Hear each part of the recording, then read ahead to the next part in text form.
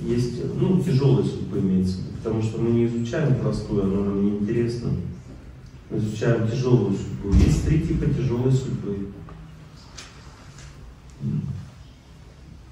Первый тип нормальный более-менее. Это когда тяжелая судьба, просто живем вместе, все нормально.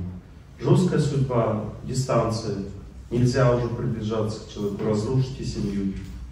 А жестокая судьба, это, ну, это даже совсем другое, это обычно люди всегда нацелены на сохранение отношений. Но если приходит жестокая судьба, не надо думать об отношениях. Вот муж, допустим, бросил тебя, изменил. Вот если он ушел просто так, никуда, это жесткая судьба, это не жестокая. Жестокая это когда беспредел. И в жесткой судьбе нужно чуть расстояние и молиться, пытаться быть вместе в сердце. Вот это ваше действие, понимаете? Надо работать над собой и в сердце пытаться быть ближе, ждать, когда она закончится. Она закончится через полгода. Соответственно, через полгода у вас начнется сближение.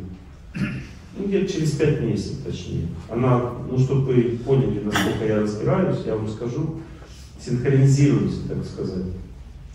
Вот эта судьба тяжелая действует вот в полной степени 11 месяцев уже действует. И еще осталось 5.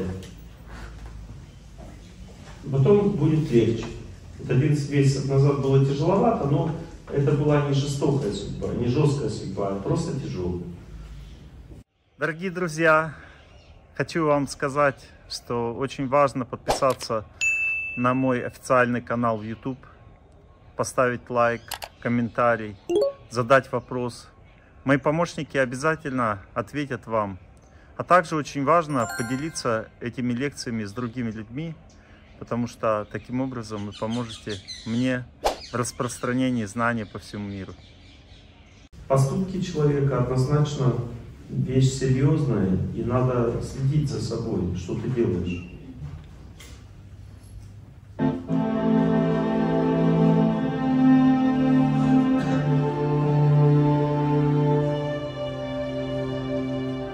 Жизнь бумеранг, к тому ведется. Что отдаете, то и вернется. То, что посеешь, то и пожнешь ложью пробьется, ваша же ложь. Каждый поступок имеет значение, только прощая, получишь прощение. Вы отдаете, вам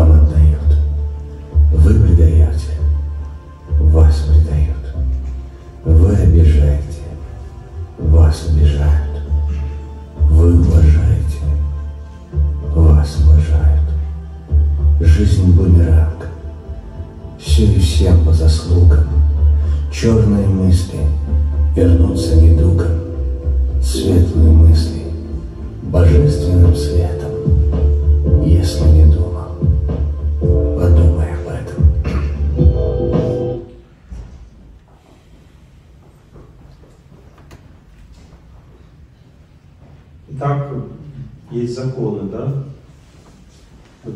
нельзя бросать близкого человека, это закон. Исключения есть, нет исключений. Надо всегда быть вместе, пытаться, но иногда невозможно, потому что человек принял решение. Он не хочет с тобой жить. Но даже несмотря на то, что он принял решение, ты должен пытаться быть вместе, потому что это решение можно еще поменять иногда. Но если ничего не меняется, ты срок себе поставил, это жестокая судьба действует. Потом ставишь точку. Но когда действует жестокая судьба, главное это не сохранить семью, а сохранить себя. Как определить, вот, допустим, между вами жесткая судьба? Тебя будет ломать близкий человек или нет? Нет, он просто с тобой не может вместе быть. И так как говорит, нам что-то не получается нам поговорить с тобой. А жестокая судьба, когда действует, ломать будет тебя человек? Будет. Он будет тебя уничтожать, будет на зло делать. Вы будете звонить, а мне вот с новой телкой хорошо, не то что с тобой, скотина. А ты его ждешь при этом человека. И поэтому, когда действует жестокая судьба, первое правило какое? действует тяжелая судьба, надо быть вместе, любить, прощать, терпеть. Жесткая судьба на расстоянии, пытаться быть самодостаточным. Жесткая судьба, учись э, зависеть от, от трех сил, которые всегда дают счастье. Какие три силы дают счастье всегда человеку? Природа, добрые люди, не все люди добрые люди. И третья сила – Бог. Три силы, которые всегда тебя не, не подведут, не обманут. А какие силы обманывают? Те, через которые действует судьба. Через природу судьба действует? Нет. Если ты ее любишь, она тебе только помогать будет в жизни. Если не любишь, то твои проблемы. Судьба действует через природу, если ты ее не любишь. Боишься. Боишься ветра, получишь от ветра болезни. Боишься солнца, от солнца получишь. Боишься земли, от земли получишь. Боишься воды, от воды получишь. Природа, если ты ее любишь, не боишься, принимаешь. На ветер вышел, тебе хорошо на ветру? Нет. Ветер полезный? Да. Почему тебе нехорошо на ветру? Потому что он лечит. А лечение это включение. А ты не хочешь включаться. Мы никогда не хотим включаться. На солнце вышел, оно тебя жарит. Что оно тебя включает на лечение? Включайся. Прими, прими солнце, привыкай к нему. Тебе плохо, тошнит на нем, токсины лезут наружу. Если будешь учиться на солнце быть, все токсины пролечатся, и оно будет тебе приятно, и это значит, что у тебя уже все нормально. Но врачи говорят, на солнце нельзя. То надо тогда взорвать землю. Потому что вся земля на солнце. От солнца жизнь пришла на эту землю. Птички поют, когда солнце восходит. Солнце дает нам жизнь. Ра даст. Ра означает солнце, перевод с древнего языка. А даст означает дарить. Солнце радует, дает радость. Или красавица, красно 9. Что значит красно? Означает солнечное. Крас, краса, 9, 9, 9, девушка, краса. Красно. Значит, солнечное. Если девушке солнца не хватает, она будет красивой, нет? Нет. Красиво означает впитывает солнце и отдает. Радость берет, отдает. Мужчина, что мужская радость, как она проявляется? Что такое мужская радость? Это благословение силой. Вот мужчина радуется, значит тебе будет лучше в жизни. У тебя будет больше силы, удача придет в жизнь. А женщина радуется, чем она благословляет?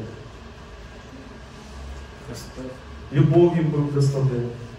Если ты ее радость принял, значит у тебя любовь в жизни будет. Женщина радуется, дарит любовь.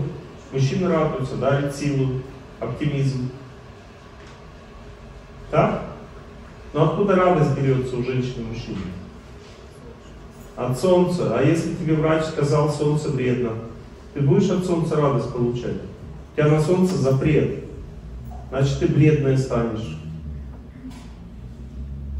Сначала будешь бледновиться, а потом станешь краснокожей. Потому что солнце начнет тебе аллергию давать. Да? А солнечный удар это выброс токсинов. Вот ты солнце не любил, не ходишь на солнце, токсины копятся. Солнце, токсины очищаются только солнцем. Токсины копятся, ты солнце не любишь, на солнце не ходишь, чепочку одеваешь, токсины копятся. Дальше что будет? Пройдет пару лет, токсины накопились, вышел на солнце, и резко они вышли в кровь. И у тебя сразу и обморок.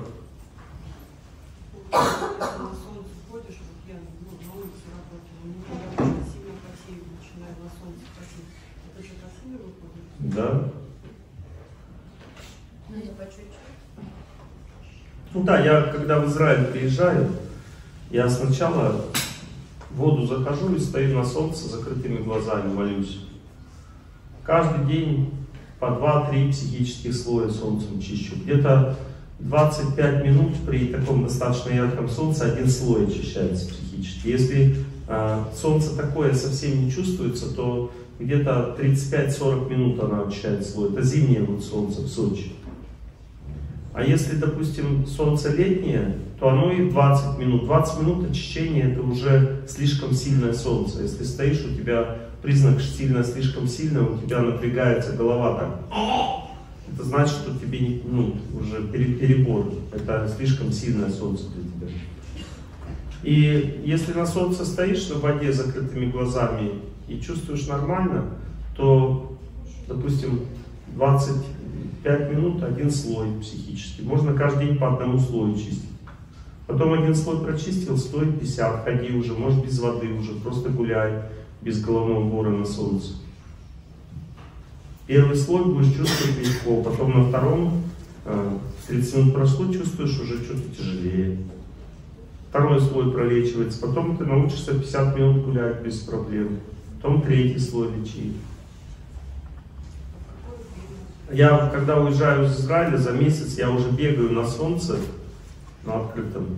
По пять слоев нахожусь на солнце, вообще никаких проблем. А приезжаю, на солнце начинаю стоять и так мутит немножко. Ну, то есть, оно всегда, ты к нему привыкаешь, на нем хорошо потом становится. И ты, это значит, что у тебя оптимизм в организме очень сильный. У тебя ну, много, нет токсинов в организме. Значит, ты на солнце находишься и легко. И точно так же, когда ты солнцем прочистился, ты потом можешь поститься. 12 а, часов поста один слой прочищается. Когда человек постится, то он включает энергию солнца. Поэтому надо пить воду сначала, когда постишься, чтобы остывать, потому что пост, он включает энергию солнца внутреннее, это солнечное питание, когда человек постится, солнце его кормит. Солнечное питание лечит токсины, убирает все ненужное в организме, пост на воде. А когда человек очистил свои психические слои, можно тогда и без воды поститься, и нормально будет. Ну, то есть солнце э, заходит в тебя, и перегрузки нет. А бывают люди, ну, холодные по природе. И им тогда тяжело на воде поститься, потому что они сильно переохлаждаются. И тогда им сразу сухой пост, подходит. Но такие люди легко также и на солнце находятся, их не перегревают солнце.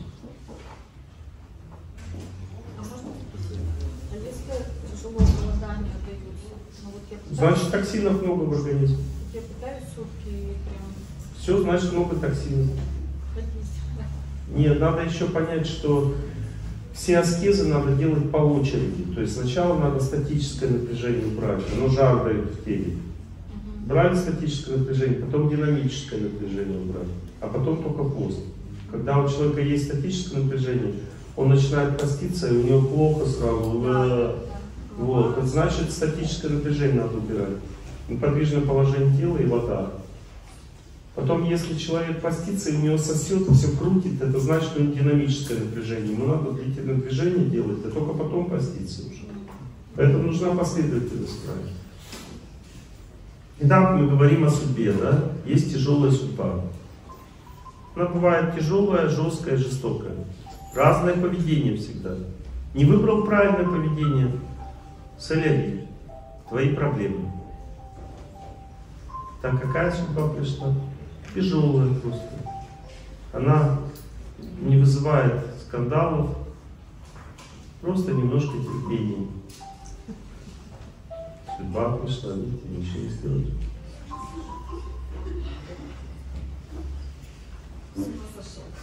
Это судьба. Вот. Это тяжелая судьба. Если Жопская пришла, он бы начал не так делать, он бы начал She crazy like a fool about the Nico. И пошло по небу. И никто не остановит. И вся. Выключите свою шарманку. Это жесткая судьба. А жестокая судьба, если пришла, зашел бы человек, говорит, лекция закончена, вы получили запрет от администрации города. Это жестокая Как в Минске сейчас они там собрали 500 человек, Вот от следующего у меня год Минск должен был. И там жестокая судьба. У них разрешение на каждую лекцию надо брать. Они сначала разрешили, потом передумали. Администрация там. Это, наверное, зависит сильно от того, ну, с кем поговорил. Ну, всякие факторы влияют. Ну, может, какая-то еще серьезная причина, если не знаю, но передумали. Ну, посмотрим, молимся, пытаемся как-то что-то сделать. Судьба может же недолго длиться жестокая. Прошла, и все. У меня был в одном городе такой случай. Э, Три раза, два зала отменяли, как бы, ну, администрация, на третий зал нам разрешили. Три раза меняли зал до начала лекции, потом провели. Жестокая судьба. Что надо делать? Зал искать. Надо себя сохранить. Жестокая судьба, не ломайся, будь спокойным. Допустим, начальник приходит, говорит, ты уволен. Какая судьба? Жестокая. Что надо делать? Пытаться вернуться на работе? Остаться на работе надо просто пытаться. Надо пытаться сохранить себя. Вот если ты сохранил себя, ты можешь к начальнику прийти и по-доброму с ним поговорить, и он тебя оставит. А если не оставит, значит, что такова судьба. Значит, что-то лучшее тебе Господь приготовил. Но если ты сразу повернулся и ушел, значит, ты не умеешь судьбой жестокой обращаться. Жесткая судьба, если ты не можешь к начальнику приблизиться, он тебя не любит. Ну не приближайся, работай на расстоянии. А если тяжелая судьба, значит тяжелее просто стало. Надо любить, прощать, терпеть. Разобрались? Три вида судьбы. Что делать? Но вы все равно будете делать не так, как надо. Когда придет жестокая судьба, вы все равно будете лезть друг к другу. Меня муж бросил, Олег Геннадьевич, что делать? Лекцию слушала, слушала. Все равно не знаю, что делать. Надо сохранить себя. А? Если с работы жестокая судьба, ну нет начальника, у нас бизнес. Ну что? Ну вот, почему думаете, что жестокая? Она вас ломает, что у вас рейдерский захват, там, что, э, налоговая инспекция пришла, всех пок- покрошила, Нет, ну не может работу. Ну, а не может пойти работать. Это может быть жесткая судьба. что делать надо все, что Жесткая судьба побеждается самодостаточностью. Человек должен почувствовать себя самодостаточным в жизни, и потом дальше он уже ее может побеждать. Чем больше он будет искать работу, лезть туда к работе, тем меньше шансов найти. А если он как бы научится самодостаточным быть, тогда он... А жестокая судьба это когда человека депортируют. Вот у меня Игорек приехал, при- пытался приехать, его 9 часов продержали, там мучили и отправили. Это жестокая судьба. И что, и что он, как, чем занимался Игорек, он слушал мои лекции. Он пытался сохранить себя. Он вел себя спокойно. И как бы расстались по-доброму. Родительский доклад тоже себя надо пытаться сохранить. Ну, держишь и молишься, и в храм ходишь. Да, там последовательность такая. Сначала сохранил себя, потом защищайся. Вот если у тебя психика нормально работает, все дальше. э, жестокая судьба это война. А если человек э, прокурор бывший, вот это как считается, война или война, который ну, захватил помещение? Я уже женском И монастыре. война можно воевать с кем угодно. Все зависит от расстановки сил. Ну, а сила немножко другая. Ну, поэтому есть разные варианты. Можно молитвой побеждать. Ну, четыре года я вот читаю, мне матушка дала такое э, послушание, и читаю э, Псалтырь. У вас спокойствие в сердце появилась, сила внутренняя. Ну, уже лучше, конечно. Вот когда появится, тогда вы его начнете побеждать.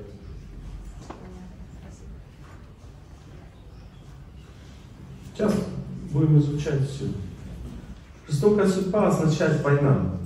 Но она может быть разной, может быть между мужем и женой, между мной и как людьми какими-то, мной и властями, там еще чем-то, какими-то бандитами там. Ну, жестокая судьба всегда приходит в виде жесткого поведения. И а, в этом поведении есть только один способ выжить.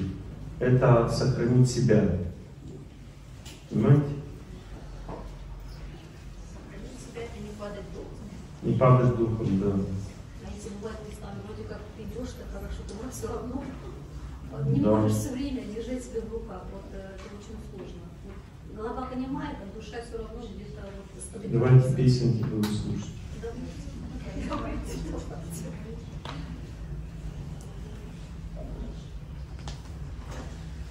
Ну вот песня про настроение.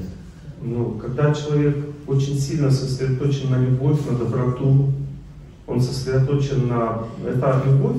Ну, люди не понимают, кто такой Бог. Бог это в сердце доброта. Вот есть доброта, значит ты победишь. Есть любовь в сердце, ведь оно уже у тебя опустошилось сердце, ожесточилось.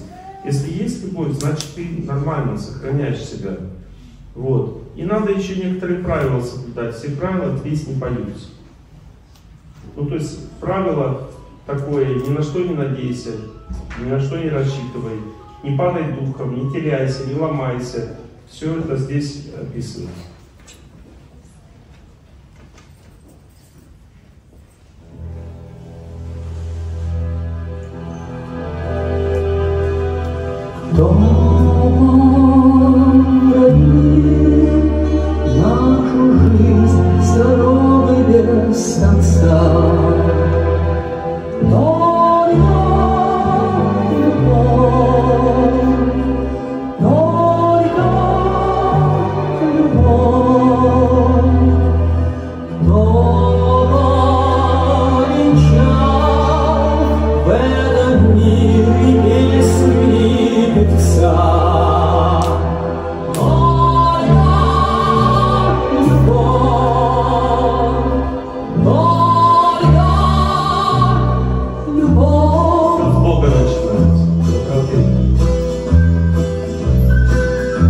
Дорога без конца, дорога без начала и конца. Всегда в толпе, всегда один из многих. Но вернее многих ты любишь песни и цветы. Любишь вкус воды и хлеба, и подолгу смотришь нет. И никто тебя не ждет. Дорога без конца. Дорога без начала и конца. Свисти, как птица, и не жди награды. Нет на свете тишины. Только плач твоей струны. Только вечность горит звук, и до груди. Огонь жестокий твой единственный огонь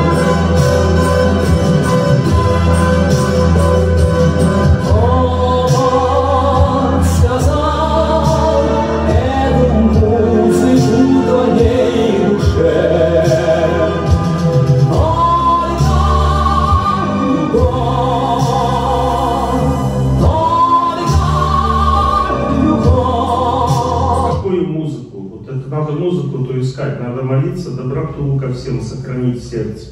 Если не сохранишь, все будешь разрушен. И там говорит только любовь. Если у тебя любви не осталось, ты всех ненавидишь, значит все. Ты будешь разрушен. Жестокая судьба не отнимает тебя мужа, работу, фирму. Она тебя лупит. Она пытается тебя поднять на более высокий уровень. Каждая судьба, она свои задачи ставит. Тяжелая судьба просто учит людей быть вместе. Жесткая судьба учит самостоятельность, независимость. Если ты лезешь близкому человеку, не можешь понять, что ты должен сейчас самодостаточности учиться, значит, у тебя семья будет разрушена.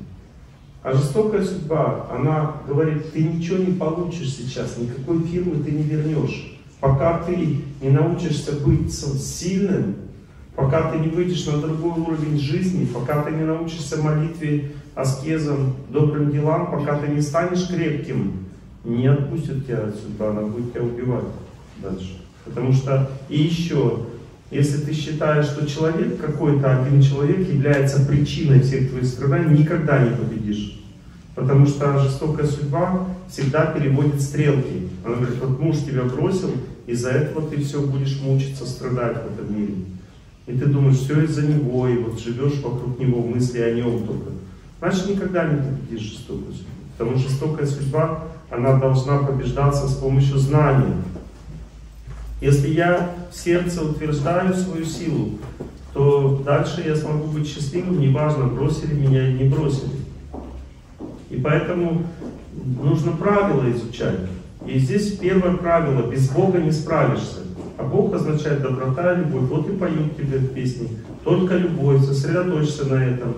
Не думай, что что-то еще тебе поможет в этом мире. Когда пришла жестокая судьба, сохрани себя. А без любви себя не сохранишь. Сердце ожесточилось, все. Значит, иди под откос. Жестокой судьбе все. Мы вечные, она знает. В этой жизни не справился, в следующей будешь справляться. Она может убить человека, самоубийство, там, несчастный случай, все, болезни, это все жестокая судьба. oh.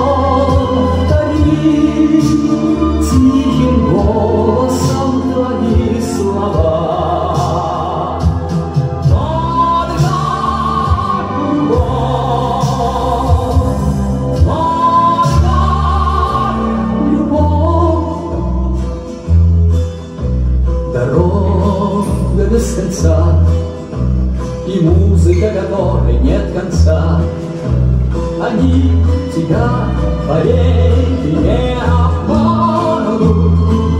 Ну, а если спросят вдруг, где любимая и друг, Промолчи в ответ с улыбкой, пусть никто не видит сердце посидевшим от разлук. Дорога без конца, она когда-то выбрала тебя. Твои шаги, твою печаль и песню, Только вот идти по ней с каждым шагом все больней. С каждой ночью все светлее, с каждым словом все смертельней, с каждой песней все трудней. Жестокая судьба нужна для того, чтобы мы определились с главными вещами в жизни.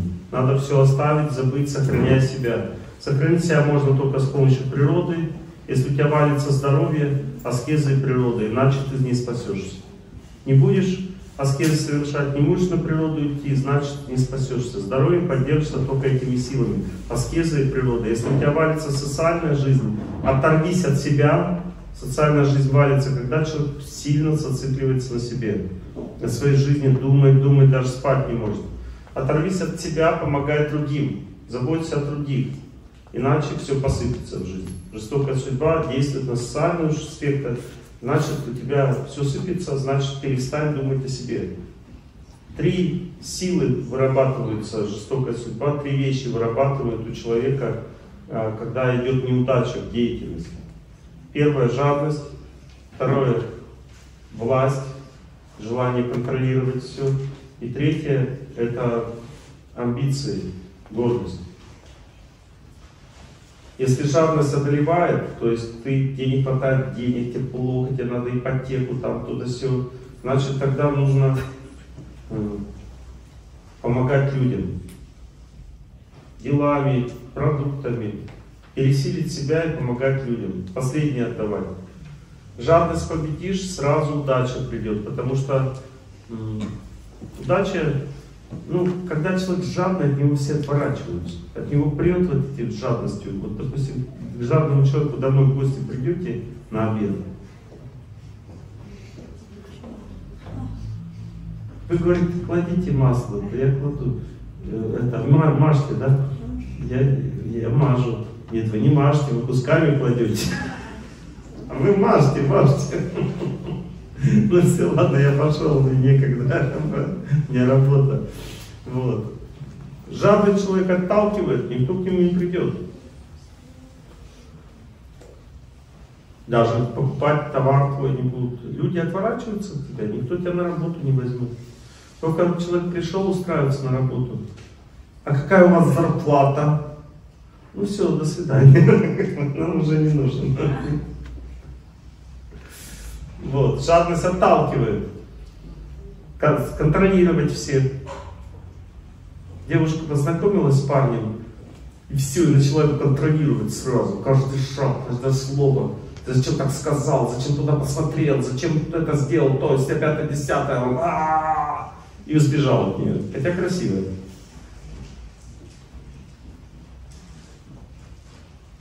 Что сгубило ее? Это сила, желание контролировать. Мужчина что контролирует? Он контролирует этот мир, а женщина что контролирует? Мужчину и детей своих. Она все свое контролирует. Следит за всем. Это нормально. Женился, значит, нашел себе контролера.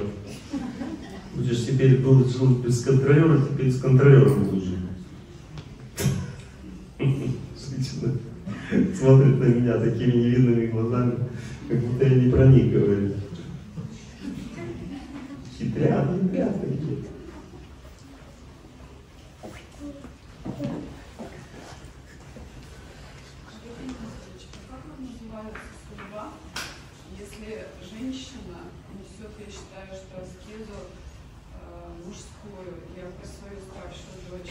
Она кормит, э, зарабатывает на четырех Это не важно, что человек делает. Судьбу можно определить по тому, что она с тобой делает. Вот, допустим, если судьба тебе делает тяжелую жизнь, значит это тяжелая судьба. Если судьба тебя разделяет, не дает соединиться, ближе стать близким, значит это жесткая судьба. А если она тебя ломает, значит это жестокая судьба. Все. Вот если вашу дочку не ломает, значит не жестокая. Тяжело значит тяжелое. Значит, тяжелая судьба, просто тяжелая.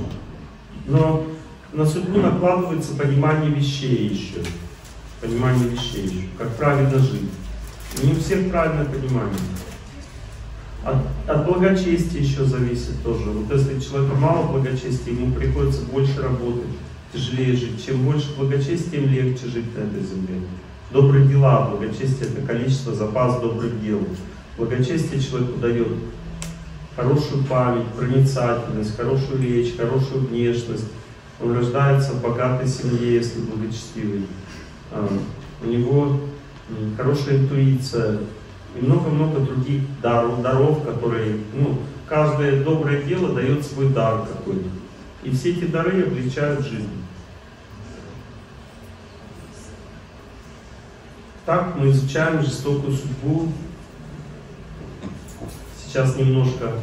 И правила я вам даю, вот эти вот как бы, установки, правила главные, э, которые дают возможность понять, что делать.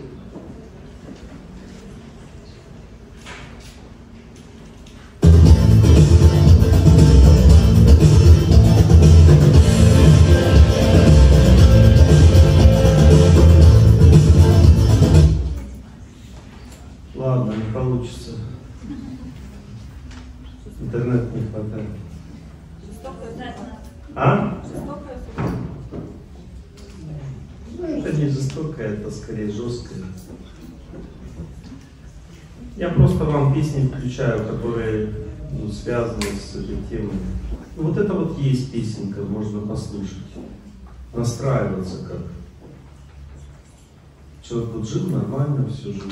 Пришла жестокая судьба.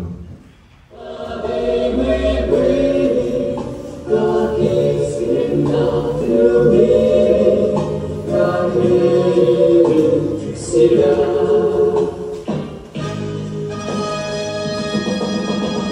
тогда безуспешно встречали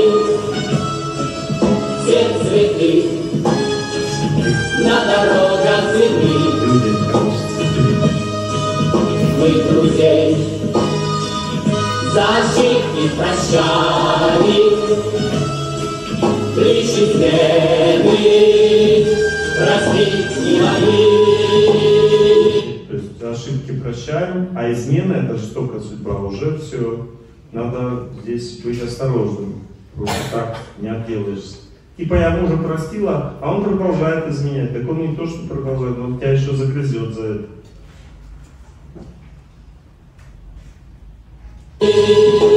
Ничто на земле не проходит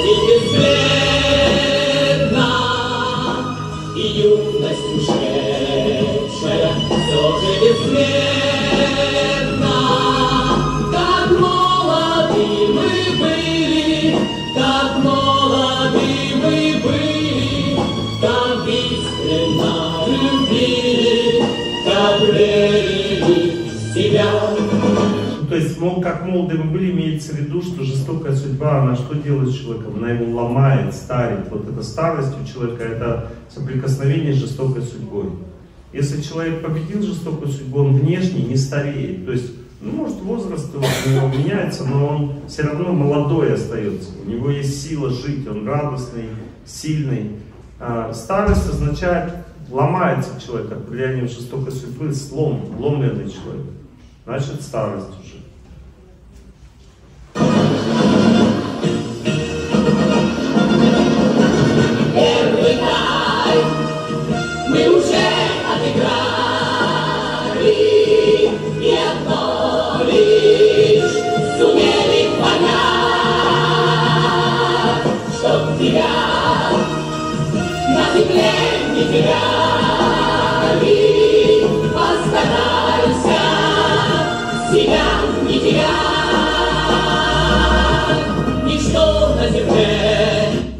Старайся себя не терять. И вот в этом вся самая сложность, потому что жестокая судьба ломает не бизнес, она ломает тебя. А если ты себя сохранил, то она тебе все возвращает. Она же, эта судьба, тебе и все вернет. Поэтому экзамен от жестокой судьбы – это сохранить себя, честь свою, достоинство, не поддаваться, не ломаться, не трусить. А кто не сохраняет, не сохраняют люди, которых нет правил. Когда они живут честно, правильно, они поддаются под влиянием силы всегда. Они ломаются. Гордость, жадность, э, нежелание развиваться духовно ломает человека.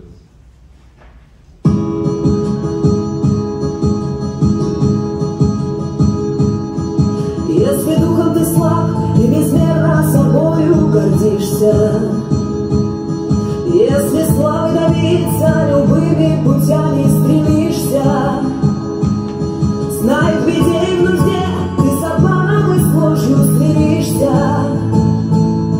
И под натиском силы ты воле чужой покоришься.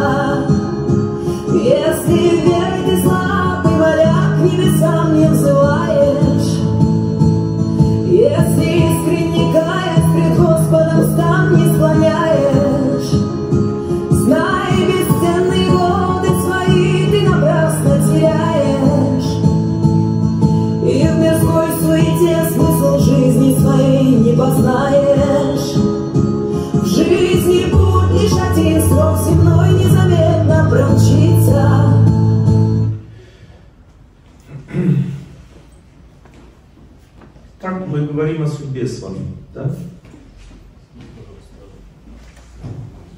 Если с с классификацией вроде определиться, если это жестокая судьба, если не понимаешь, зачем эта ситуация дана, Не важно. Не важно. Важно сохранить себя.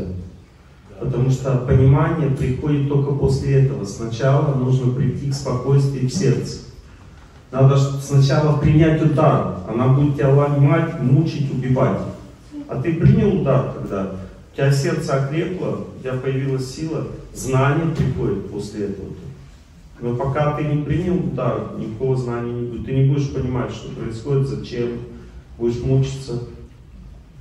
Для того, чтобы не мучиться, значит, нужно принять удар и Только, только. Нет выбора больше.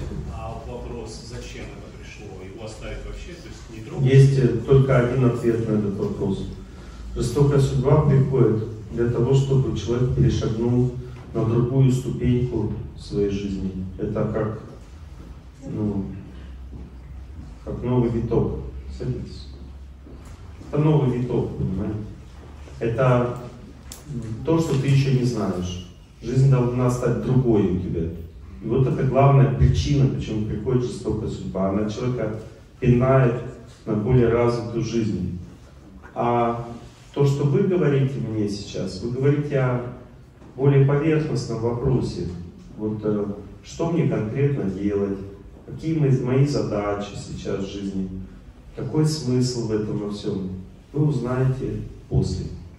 Только когда вы сможете стать крепким. А еще вопрос, а если эта волна идет? То есть вот первую волну, волну выстоял, следующая волна появляется. Эту волну, волну прошел, следующая волна. Это значит, это одна и та же жестокая судьба, она просто вас бьет порционно. Ну, то есть она еще не закончился период, он идет еще. Значит, процесс восстановления это молитва. А вот сейчас будем говорить, у нас три лекции с вами. Две лекции, еще одна. Я буду вам расскажу, как побеждать. Все узнаете. Я просто сейчас рассказываю, мы сегодня говорим сначала о том, что происходит, потом что делать. Последовательность такая, если вы не поймете, что происходит, как вы поймете, что делать? Всегда человек должен, когда действует судьба, он всегда должен реагировать на то, что она делает. Всегда надо знать, что у человека есть три зоны жизни. Не одна, а три зоны. Есть зона тела, есть зона социальной силы, социума. Всегда оно делится на две части. Это личная жизнь и работа. Это две зоны социума. Они разные. На одну может действовать плохо, на другую нет. Может на обе действовать. Всегда по-разному. И есть зона смысла жизни или духовная составляющая. Жестокая судьба может быть э, любую из этих зон. И если ты будешь что-то другое делать, то это твои проблемы. Ну, допустим, первое, самое главное, я сказал, что есть как бы направленность жизни. Вот человек, допустим, э, судьба пришла, он думает, что делать, что делать, что делать. Это главное, что он думает, правда? Человек не знает, что делать. Я вам говорю, что делать. Тяжелая судьба пришла, просто тяжело, но мы вместе нормально справляемся. Что делать? Терпеть, прощать, любить, быть вместе. Все, вот что делать.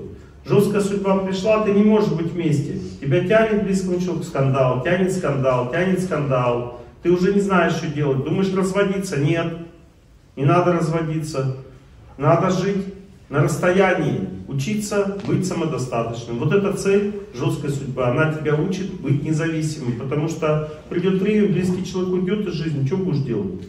Ты не научился быть независимым. Помрешь за ним следом.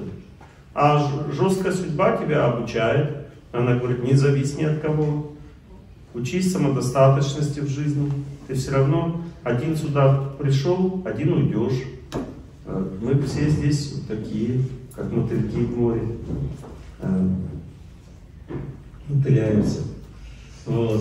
Ну, то есть, э, учись самодостаточности, не лезь близкому человеку. Оставь его в покое. Займись собой, желай всем счастья. Когда самодостаточным стал, сразу жесткая судьба уже не действует. Ты экзамен сдал, все нормально. Он хочет с тобой ругаться, а ты не ругаешься. Потому что у тебя и так все нормально. Чего ругаться? А можно Ну. Ну хорошо, вы правильно говорите, все, мы все это уже проходили. А вот по поводу вот работы или пусть, допустим, бизнеса. Ну ты понял. Вот мы все это правильно уже проходили, это называется гордость. Не, не, вы не так поняли. Ну, Я, конечно, все не так понимаю, однозначно. Но когда гордость, она мешает человеку понять. Она, она такая страшная штука, она э, дает глубину взять. В этом проблема.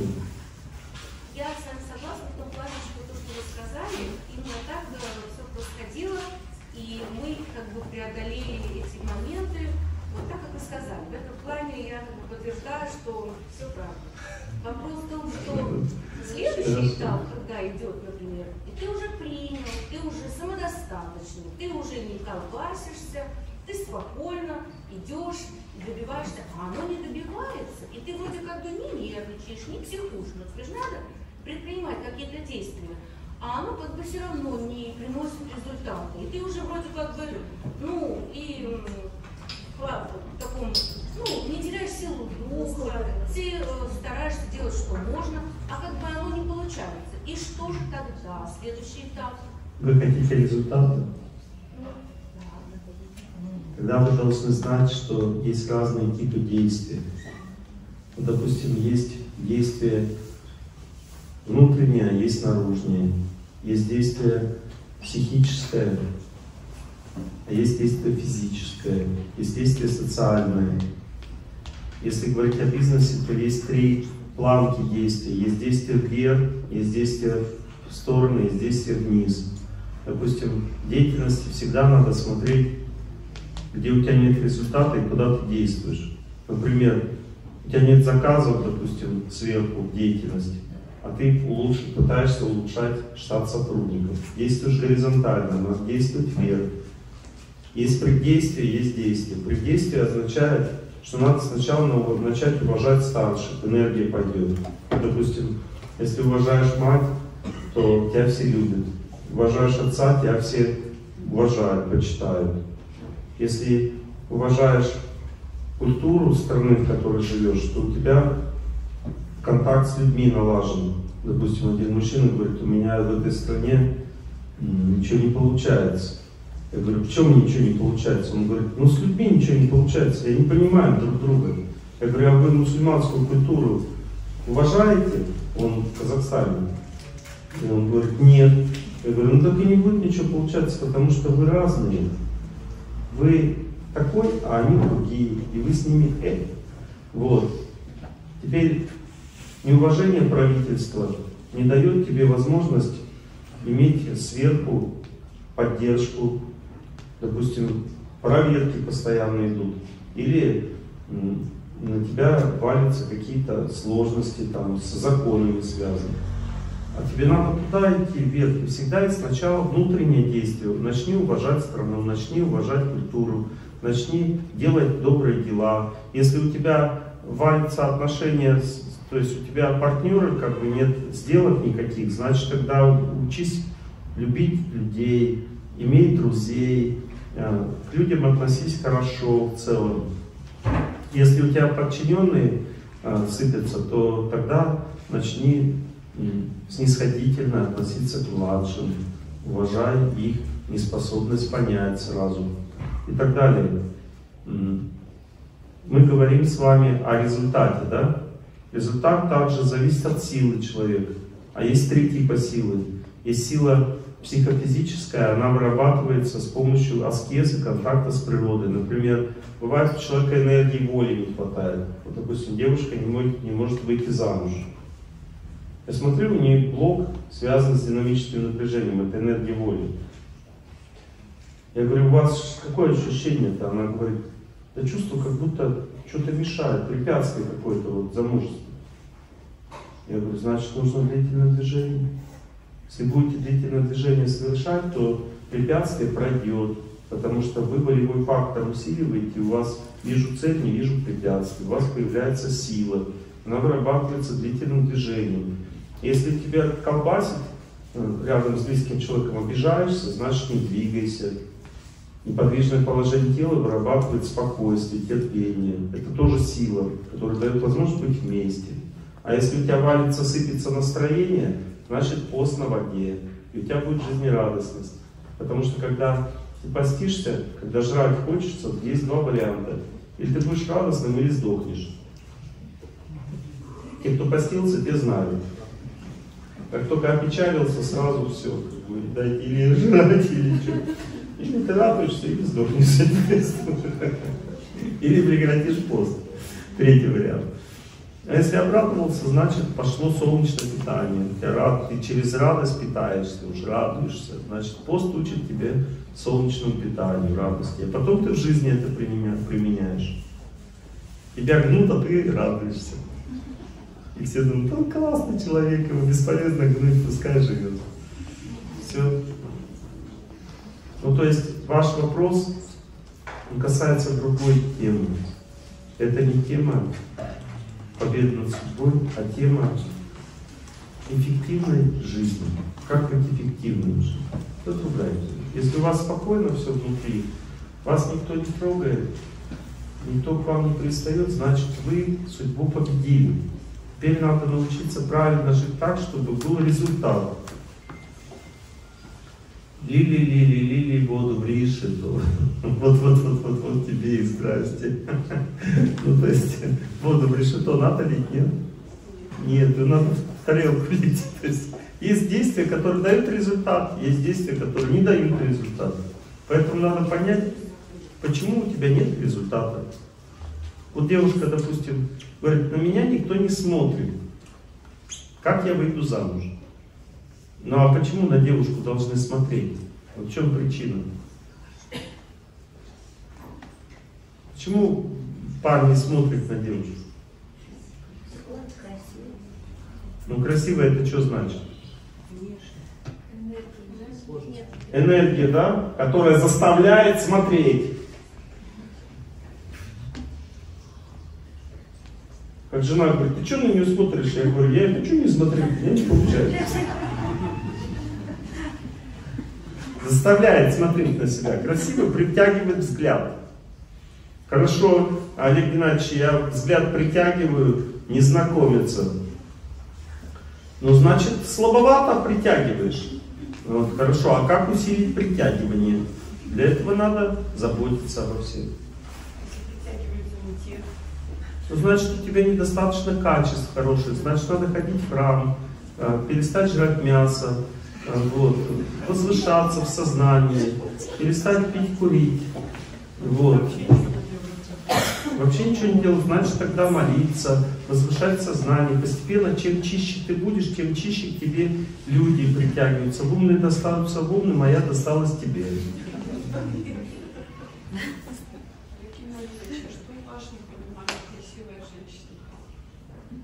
Да любая женщина может быть красивой, если она имеет силу. Есть женская сила, есть мужская. Вот мужской муж, муж, муж, мужчина красивый, что значит? Влиятельный. Если у него есть влияние, значит он красивый. А если не влиятельный, значит нафиг он нужен.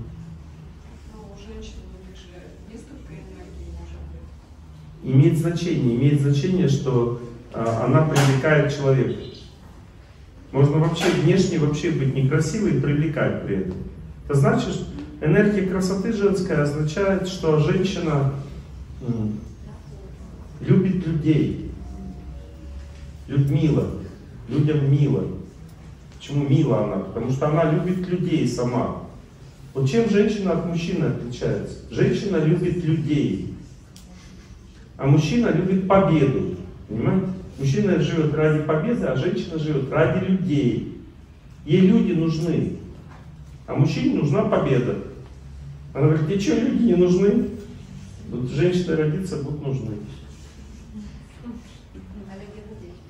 Я когда с мужем была, ну, команда же, конечно, э, ну, молилась, но в монастырь не ездила. Но муж ушел в другую, ну, Поехала в монастырь. Я стала, да, сейчас я стала на 4 года старше. Я сейчас смотрю, думаю, боже мой, правда, Олег Геннадьевич говорит, ничего не делаю, просто хожу там, ну и читаю.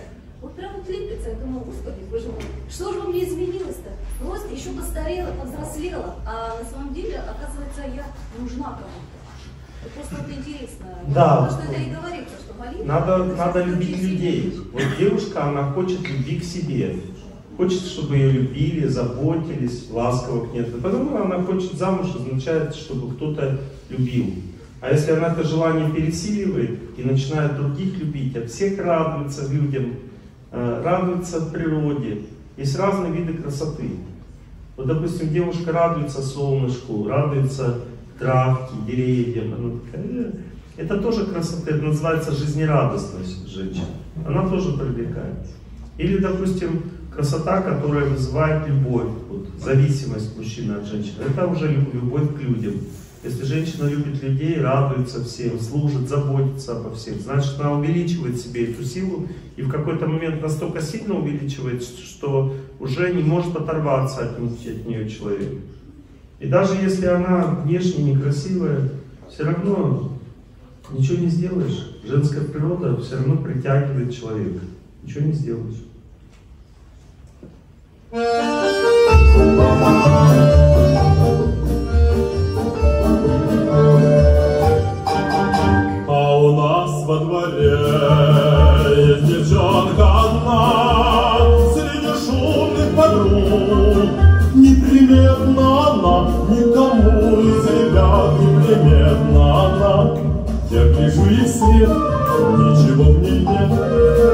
Все гляжу, глаз не отвожу есть дружок у меня, я с ним с детства знаком, но не я молчу, даже с лучшим дружком, почему-то молчу, даже с лучшим дружком.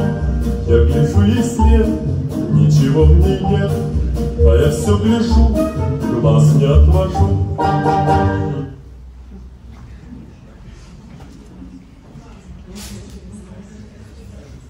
Эта сила дает возможность выйти замуж. Если постоянно думаешь, я что-то не замужем, я одна все время, значит никогда не выйдешь. Если ты мечтаешь постоянно, значит одна будешь. Потому что у тебя не хватает социальной силы. Социальная сила отрывает человека от себя и приковывает к другим. И разные виды социальной силы дают разные виды успеха человеку в жизни. Это знание тоже надо изучать. Где я хочу успех, где ты хочешь успех достигнуть. Вот такой вид силы тебе надо иметь. Хочешь замуж, люби людей, заботься о них. Хочешь торговать, чтобы товар продавать хорошо, учись бескорыстию, учись жадность свою заменить на желание помогать людям. Если ты хочешь власти, тогда учись защищать людей. Делать так, чтобы им рядом с тобой было э, спокойно, чтобы они чувствовали заботу, защиту. Тогда у тебя будет власть. А если хочешь славы, тогда тебе надо людям давать знания, помогать им знанием. Или делать им приятно. Вот, допустим, есть слава, допустим, у артистов, они могут делать приятно людям. И тогда они получают славу сразу. Если ты можешь приятно делать, или давать знания, или делать приятно, осчастливить людей. Можешь осчастливить людей, значит тогда будешь славным человеком. А если э, хочешь власти, тогда защищай. А если хочешь денег, тогда стань щедрым. Помогай. Бог даст тебе деньги. Он тебе притягивать к тебе будет. И говорит, как притянуть деньги. Надо вот так. Притягивать, визуализировать. Доллары, доллары. Такие бредятины такое рассказывают иногда.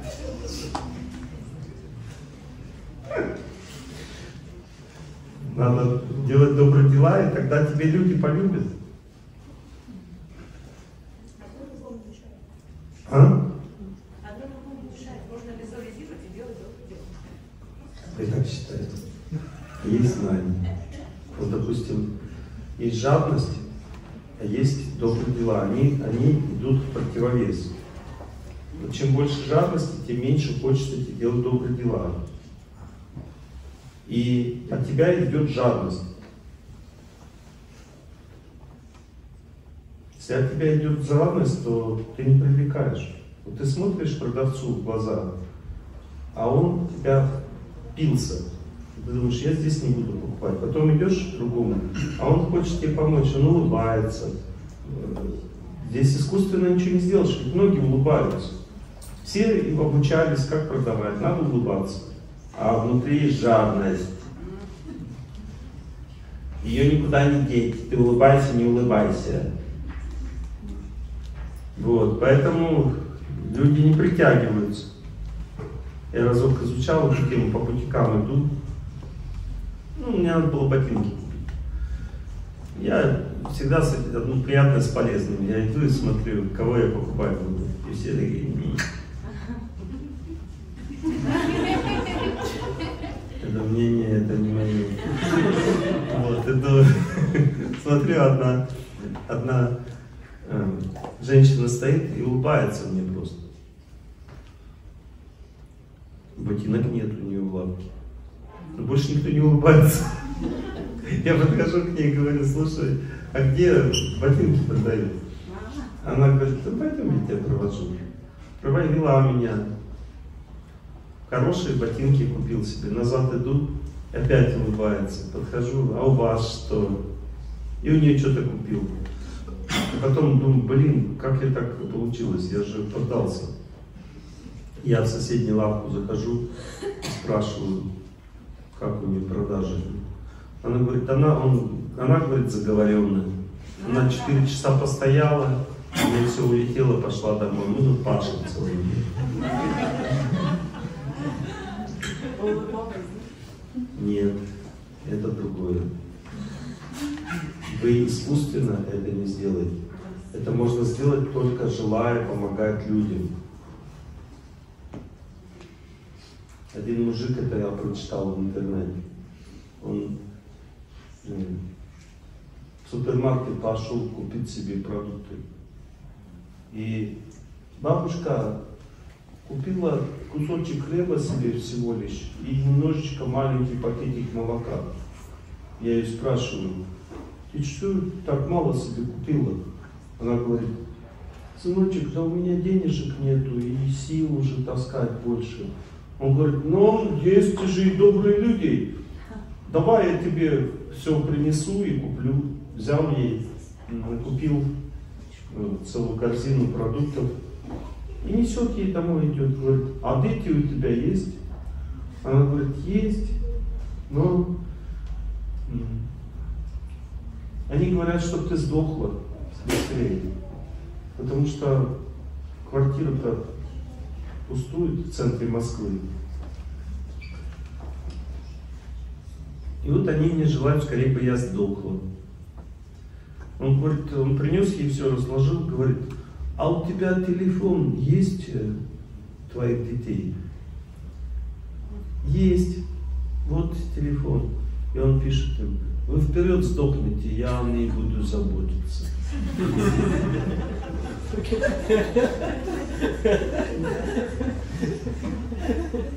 Как вы думаете, он что, без денег останется, этот человек?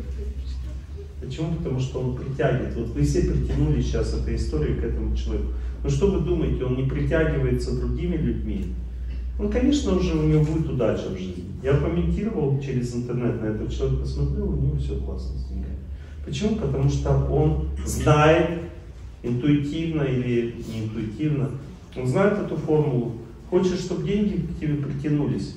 Начни помогать людям, и надо, чтобы твоя жадность стала слабее твоего желания заботиться. И тогда удача, вот на эту разницу будет удача уже в деньгах. То есть тебе будут притягиваться люди, потому что они не будут чувствовать твою жадность.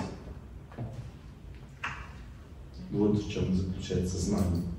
Жадность, конечно, когда человек склонен торговать, у него обязательно будет жадность. Склонен к власти, но склонен быть руководителем, всегда будет властолюбие.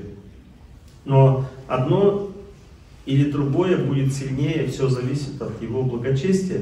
Если он склонен больше заботиться о людях, то тогда он удержит власть. А если нет, значит она постепенно у него будет сыпаться через ненависть людскую по отношению к нему. Эта ненависть разрушит постепенно его власть. Власть это сила благочестия.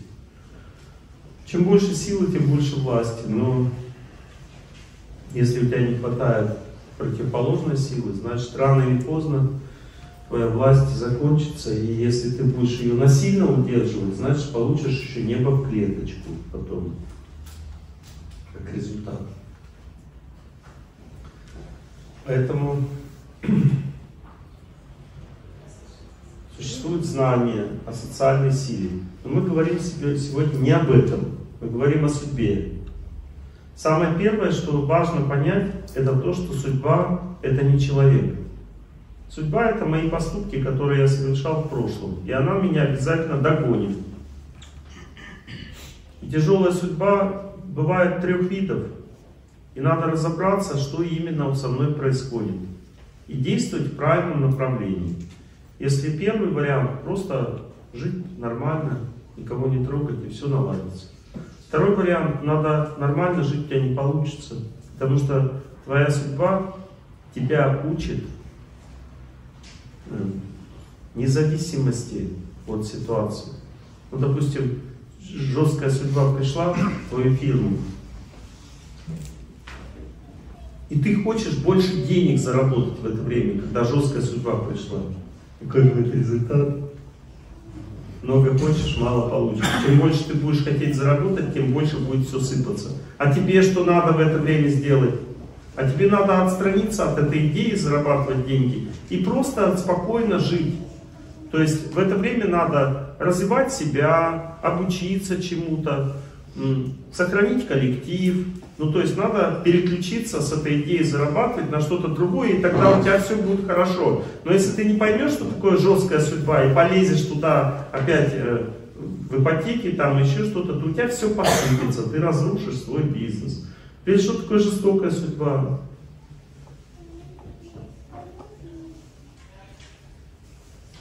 Жестокая судьба это это другое. Это когда баста карапузики кончились танцы. Когда она приходит, такую фразу произносит.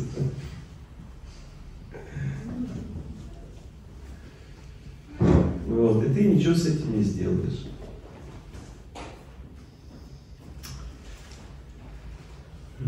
Теперь а, мы должны понять, что в целом любая судьба, она тяжелая, она всегда человека истощает. И если ты не понял, что именно истощает, и будешь что-то другое делать, то тебе не поможет. Вот, допустим, тебе надо пить, а ты ешь. Будет результат, нет? Тебе надо попить, а ты ешь. Какой будет результат? Тебе будет еще больше пить хотеться. А если тебе надо есть, а ты пьешь, будет результат? Нет. Надо делать то, что надо, так? Итак, мы должны понять, что судьба действует на три слоя. Первый слой – здоровье. Как определить, что на здоровье есть? Мы сейчас изучаем с вами уже. Да? Пытаемся диагностику разобраться в диагностике. Второй слой социальный, и третий слой это твоя мотивированность жизни, духовная. Если на здоровье влияет, как меняется жизнь? Вот судьба действует на здоровье.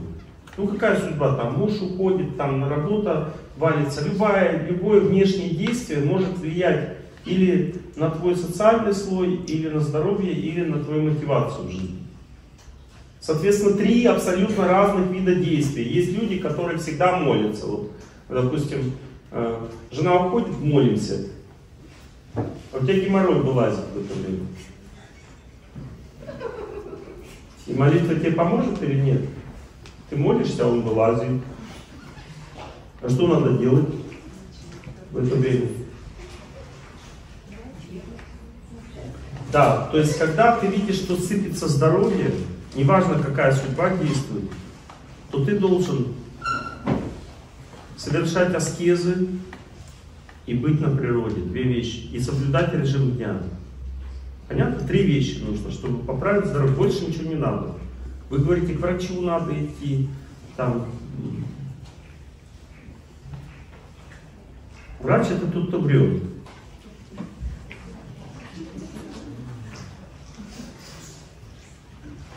Надо идти к человеку, который тебе поможет разобраться, что делать. Потому что есть лечение. Лечение означает, что тебе просто пытаются на время помочь выжить. Ну, как-то, ну, смягчить ситуацию, снять обострение там. Но это не, это не лечение по факту. Настоящее лечение – это убрать глубокую причину, которая... Глубокая причина – это влияние судьбы. Она что делает? Она оно уменьшает энергетику в теле. Уменьшенная энергетика приводит к тому, что орган не может нормально функционировать, поэтому возникают хронические заболевания. Так все болезни возникают, какие бы ты ни придумал. И существует всего три энергии, потому что у души есть всего, у души есть сознание, это ее энергия, у души.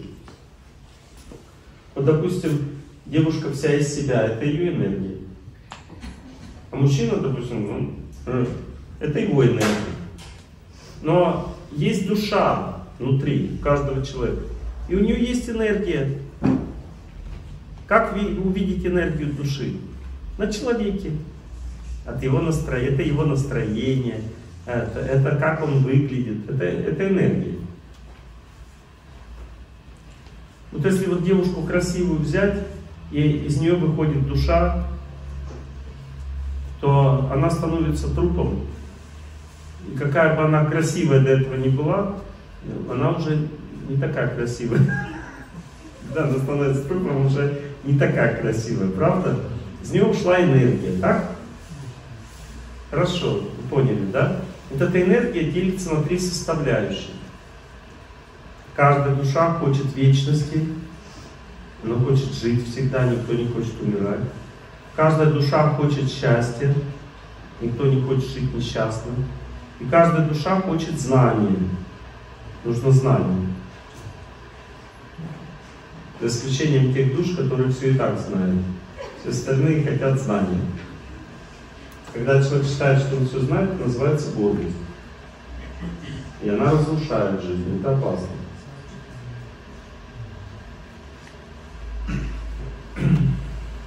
Итак, что знание же на разных уровнях можно воспринимать. Кажется, что ты это знаешь, а оказывается нет. На практике это все проявляется. Итак, три энергии у души. И это очень важное знание. Поэтому в соприкосновении с телом, в соприкосновении с психикой и соприкосновении с нашей душевной составляющей всегда эти три энергии существуют. Если, допустим, человек хочет со здоровьем своим разобраться, он должен знать, что есть только три вида нарушения здоровья. В организме может возникать скованность, это нарушение энергии вечности движения. В организме может возникать жар или воспалительный процесс, это нарушение движения энергии знания. И в организме может возникать токсины, лишний вес, там, опухоль. Это нарушение энергии счастья движения. Когда человек находится в депрессии, у него снижено настроение, у него копится жрач и токсины. Почему человек ест? Он хочет поднять настроение. Обычно это происходит вечером. Вечернее время э, солнце, когда не стоит высоко, солнце переваривает все. Солнце, солнечной энергии нет, оно село, переваривать нечему. Цикл пищеварения становится незаконченным, поэтому копится жир. Это не потому, что у тебя откладываются запасы, как люди думают, а это недоваренная пища, жир. Организм не может до клеток довести продукты, поэтому он их складывает где попало. Это называется токсины в организме, лишний вес. Причина – сниженное настроение. Оно дает жрать по вечерам и потом дальше токсины. Лишний вес превращается в доброкачественную опухоль, потом в злокачественную. Оно потом понос, судороги, смерть. Понятно, последовательность. Вот, поэтому, поэтому, мои дорогие друзья, надо убирать сначала плохое настроение, если ты хочешь убрать лишний вес. Надо разобраться с настроением, иначе жрать все равно будешь ночью. И терроризировать свой холодильник будешь все равно. Потому что никто не сможет заснуть в плохом настроении. Будешь ворочаться, ворочаться, и потом все равно пожрешь. И подумаешь, блин, нафиг я послушал этого Олега Геннадьевича. Лег надо было сразу пожрать, честно, и все. А слушать надо было серьезнее.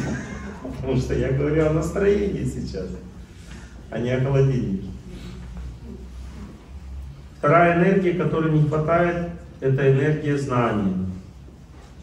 И когда человек нервничает, раздражается, чувствительность высокая, не могу находиться рядом с этим человеком, обидчивость, гневливость, чувство несправедливости. Это нехватка энергии знаний. Она разогревает. Этот разогрев приводит на физическом плане к воспалительным процессам, на психическом плане к повышенной чувствительности, ранимости, невозможно быть вместе. И третий вид энергии – это энергия вечности. Она когда на психическом плане нарушает движение, человек чувствует непреодолимые препятствия, у него страдает воля, чувство безысходности, не хватает сил. Стена передо мной стоит жизни. А на физическом плане напрягается тело, спазмы боли, скрючивает суставы, позвоночник, мигрени. Это все энергия вечности на физическом плане. На, на плане духовном энергии вечности не хватает, человек чувствует, что нет, нет, нет смысла в жизни. Не энергии счастья не хватает, значит нет счастья в жизни. А энергии знаний не хватает, значит человек сходит с ума. Он тупеет. Он ничего не соображает.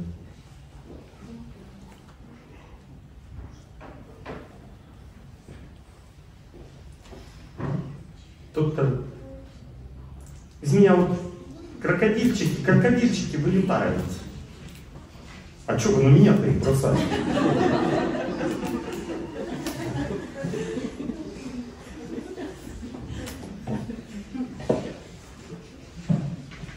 Кого не хватает энергии знаний у доктора пациента?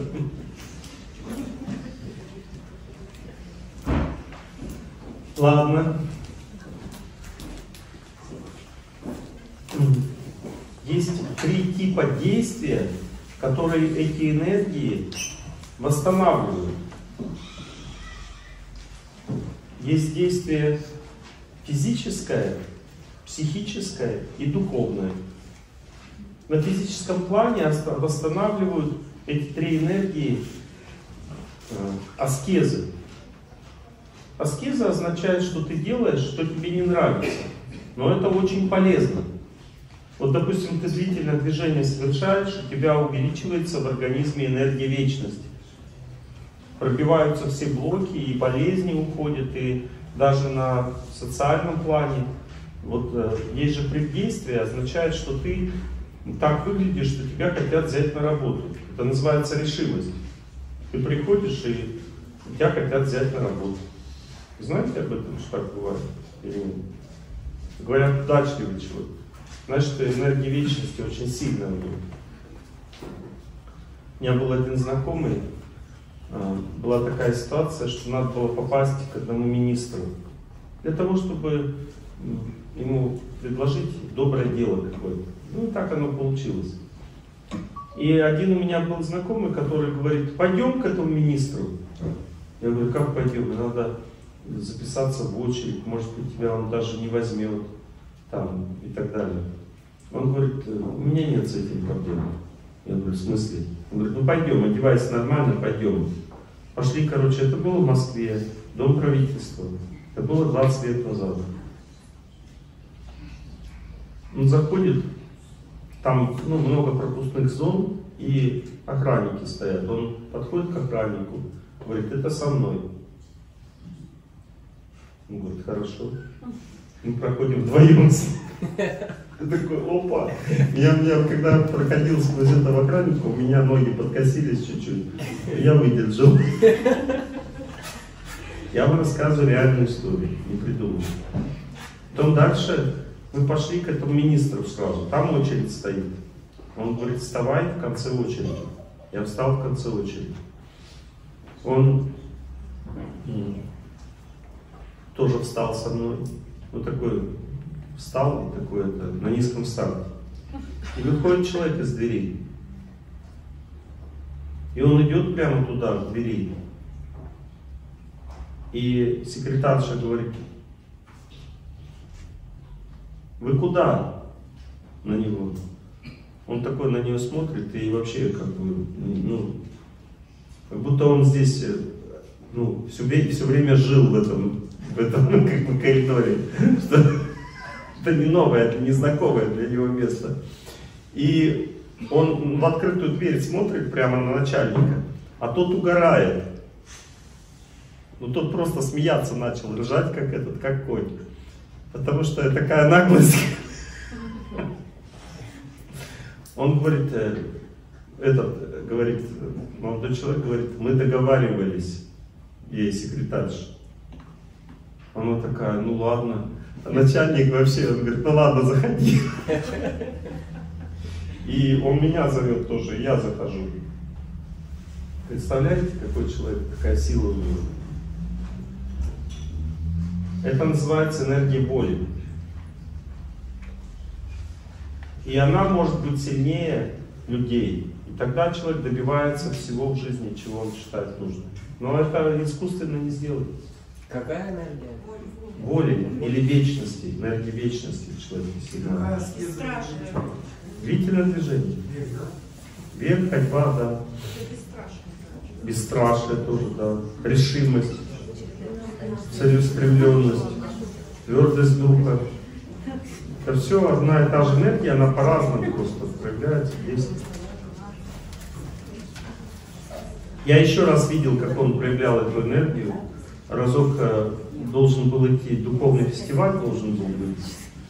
И тучи собрались, а там на открытой площадке мероприятие.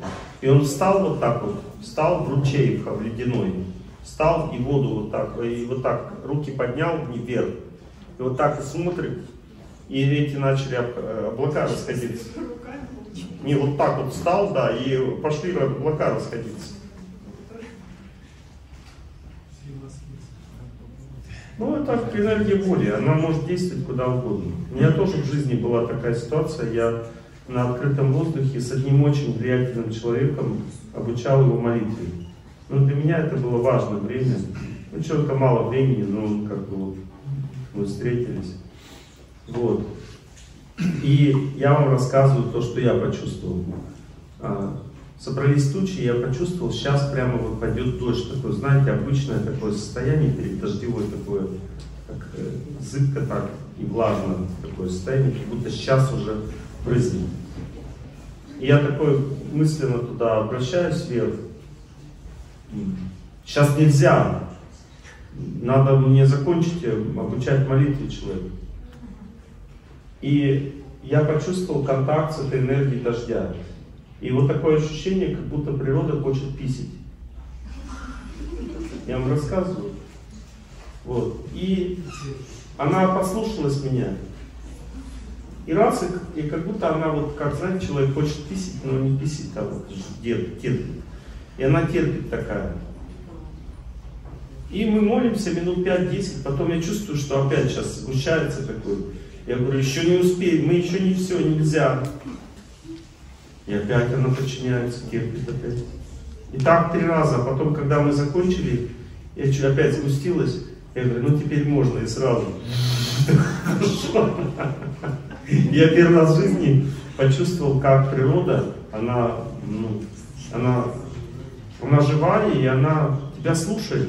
А потом в другой раз мне не было нужды сильной, но я решил попробовать. Я в Минск приехал, и мне надо было зарядку на свежем воздухе сделать и покупаться, чтобы себя прийти перегреться.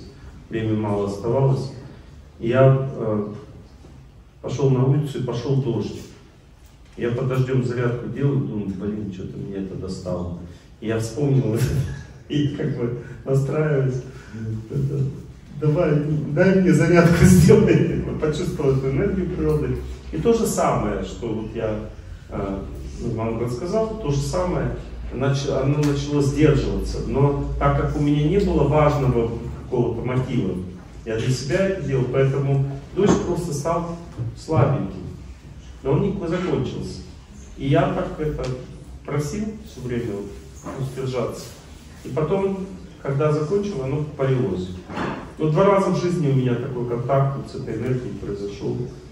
Я больше не пробовал даже и не вижу смысла, потому что мне не нравится пытаться природу как-то контролировать, как бы это ну, нечестно, как бы я чувствую, что это нечестно. Ну, в целом вот так это работает. То есть, как он там сделал, я не знаю. У меня вот так вот договаривался. Вот. А, Ну, то есть, вторая, когда человек обидчивый, раздражительный, у него чувство отчаяния внутри, несправедливости, это энергия знания страдает. На физическом плане это воспалительные процессы, аллергии в организме, э, кожа, кожные болезни, вот эти все, сахарный диабет, бронхиальная астма. Это все энергия знания страдает, жар излишний в теле.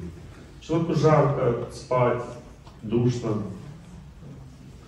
Надо охлаждаться, постоянно много воды пить. Это не факт энергии знания.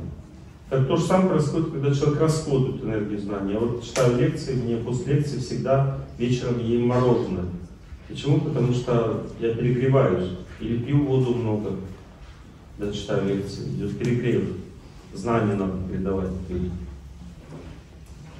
Когда человек не двигается, вот неподвижное положение тела делает, то он энергию знаний у себя усиливает, она начинает циркулировать сильно в организме. Вот когда человек не двигается, неподвижно стоит, у него затекает все тело. Вот это затекание тела означает, что энергия знания не пробивается. И если человек научился стоять неподвижно, допустим, его тело перестало затекать, меньше затекает, это значит, энергия знания движется в теле хорошо. Вот эта отечность, вот это, это микровоспаление, которое мешают двигаться энергии знания. Когда энергия знания двигается, она охлаждает организм. И у тебя ничего не затекает. Ты можешь долго не двигаться и нормально. Люди думают, что это кровь не поступает. Действительно так. Но если у тебя блоков вот этих нет энергии знаний, то кровь движется даже хорошо, даже если ты не сидишь, допустим, в алмазе не двигаешься или в бабочке долго, и у тебя все нормально, все поступает. Это называется очищение организма. То есть ты вот такие аскезы совершаешь в неподвижном положении тела, на физическом плане проходят воспалительные процессы. А на психическом ты становишься терпеливым, повышенная чувствительность заканчивается, аллергии заканчиваются. Это все энергия знания страдает. Есть энергия счастья. Когда человек постится, то он вырабатывает энергию счастья, и человек пропадает желание на ночь есть он не переедает. На физическом плане у него не копится слизь во рту, кашлять не хочется, вирусных болезней меньше становится. Не копится лишний вес. На, на психическом плане он становится ну, жизнерадостным, счастливым. На духовном плане э, человек становится удовлетворенным жизнью. Что значит удовлетворенным жизнью? Это значит, что человек, энергия счастья у него действует на высокие сферы жизни. Есть энергия знаний, когда на высокие сферы жизни действует человек, успокаивается сильно. У него в сердце наступает спокойствие такое глубокое. Энергия знания означает, что сильное спокойствие, а потом он понимает, как надо жить дальше, что делать.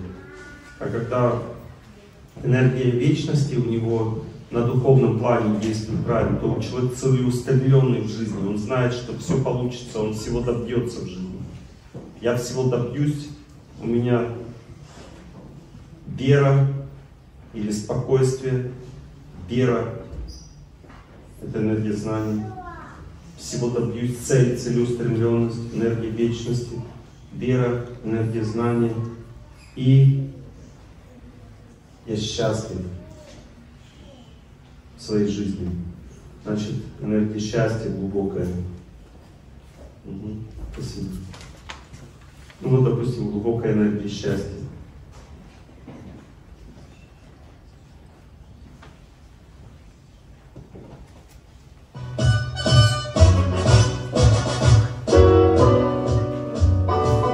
Я люблю тебя, жизнь, что само по себе и не ново. Я люблю тебя, жизнь, я люблю тебя снова и снова. Вот уж окна зажглись, я шагаю с работы устала. Я люблю тебя, жизнь, и хочу, чтобы лучше ты стала. Я люблю природу. Мало дано, ширь земли и равнина. Люблю людей. Известно давно, бескорыстная дружба мужская Звонит Люблю каждого дня. работу. Как я счастлив, что нет мне покоя, Люблю Есть любовь у меня. Жизнь, ты знаешь, что это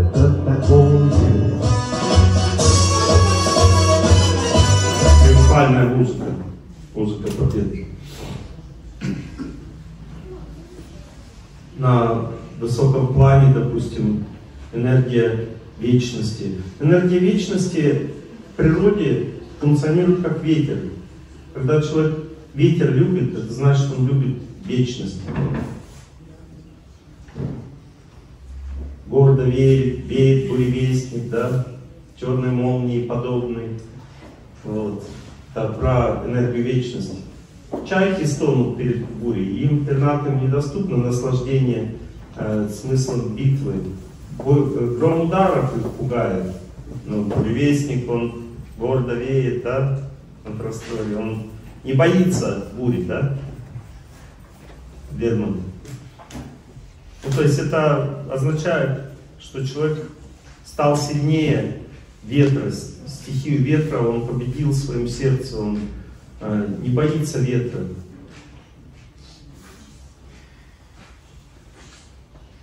Значит, что он может быть сильным. А? Как не бояться ветра? А, надо принять. Все через принятие, да. Но опять же, если слишком сильный ветер, ты заболеешь. То есть это постепенный такой процесс. Постепенное принятие.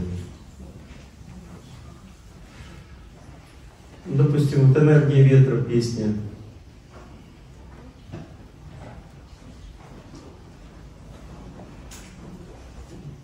Как не бояться ветра и какой результат?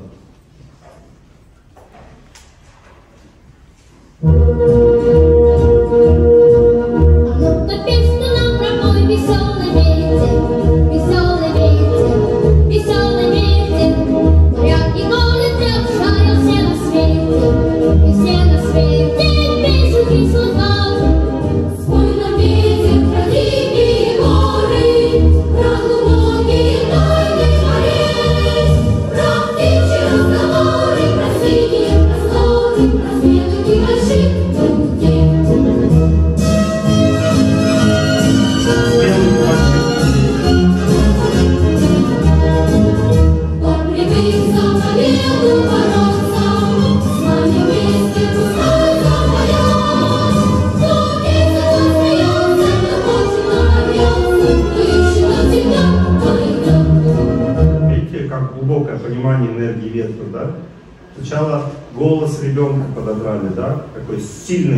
твердый, такой смелый. Это пронзительная, это энергия ветра тоже. Потом дальше песня сама по себе, да? А Сначала радость ветру, потом дальше результат какой, про смелых и больших людей какой результат, кто привык за победу бороться, с нами вместе пускай запоют. Кто весел, тот смеется, то есть смело надо жить. Кто хочет, тот добьется, кто ищет, тот всегда найдет. Это энергия ветра. И она вырабатывается в организме теми, кто в среду с нами в 8 утра пойдет бегать. Все остальные пусть стонут перед бурей. Им пернатым недоступно наслаждение.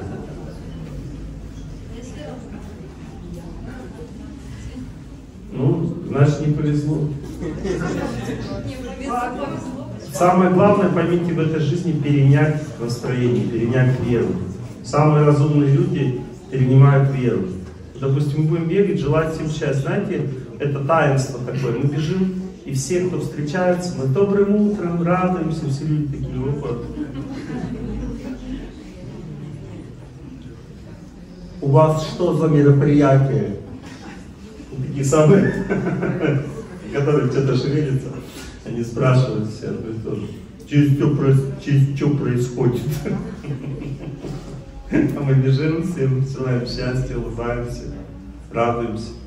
И потом постепенно ты входишь в такое состояние, что люди даже, ты просто видят тебя и уже улыбаться начинают и смеяться при встрече.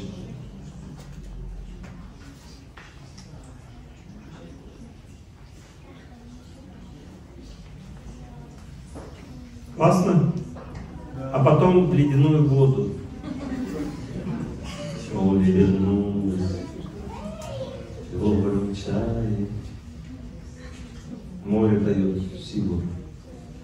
И холодная вода, это самая лучшая вода, это холодная вода. И самая холодная, это самая лучшая. Но надо ее принять.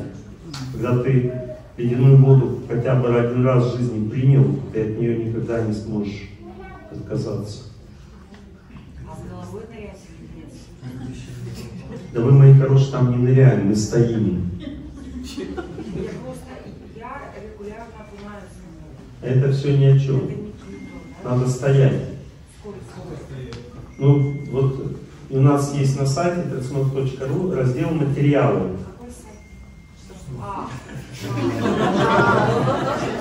Вот. Есть раздел материалы. В этом разделе есть подраздел расчет времени аскез.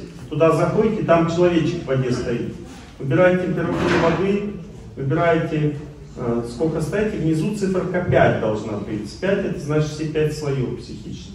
И все зависит от воды. Если это как мы стояли в, в Риге 0,7 градусов, значит 4,5 минуты. Если как в Москве 3 градуса, значит э, 5 минут. Если э, 28 градусов, то 70 минут. а? Ну вот так где-то. А если бы... Если вы, значит не повезло. Судьба такая. Плавать можно, если не. Плавать можно. Можно. Не, можно, все равно вода будет чистить, хоть плавай, хоть стой. Можешь бултыхаться на волнах. Лучше стоять или плавать? Ну, женщины в основном плавают, им холодно в воде, потому что вода это женская стихия. Вот мужчинам тяжело солнце переносить. Вот если вы, допустим, в Сибири приехали с семьей, допустим, в Сочи, то женщине будет хорошо, мужчина сдохнет. Потому что мужская природа, солнце, это мужская энергия, она не переносится, тяжелее мужчинам переносить, а женщинам солнце хорошо, потому что солнце это мужская энергия, а вода это женская энергия. Поэтому мужчинам легче в воде, а женщинам легче на солнце. В Сибири женщина сдохнет. А? А в Сибири женщина сдохнет. А в Сибири женщина сдохнет, поэтому от золотой середины ехать в Москву, значит, да? Ладно, это шутка. Ладно, мы с вами изучаем тему, что делать, когда пришла тяжелая судьба. Мы начали с вами изучать разные энергии, начали изучать э, физический уровень, что делать потом психический, потом духовный. Все будем изучать, углублять. Завтра еще один день. Вам интересно было? Я рад.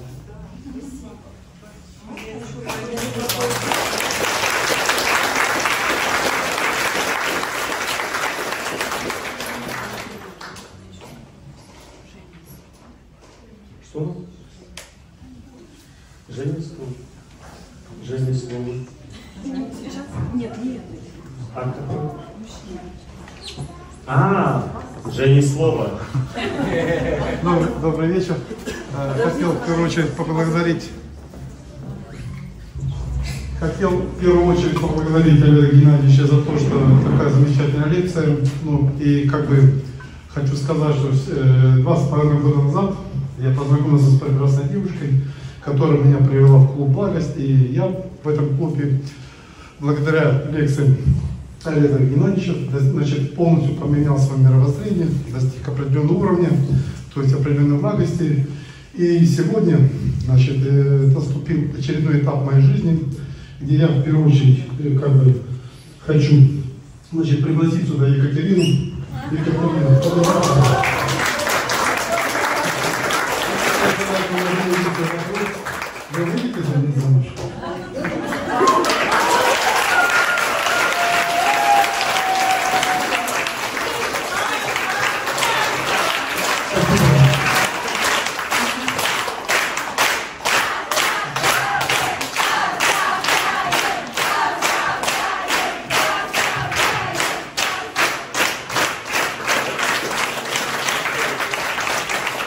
Но теперь, как всегда,